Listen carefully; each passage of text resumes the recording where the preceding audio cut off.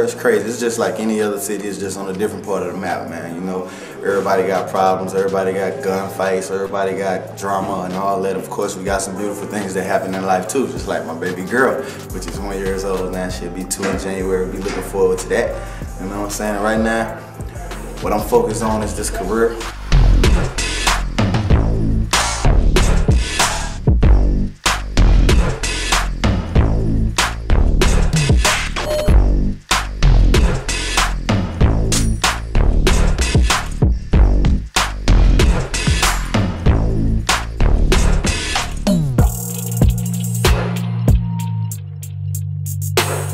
Thank you.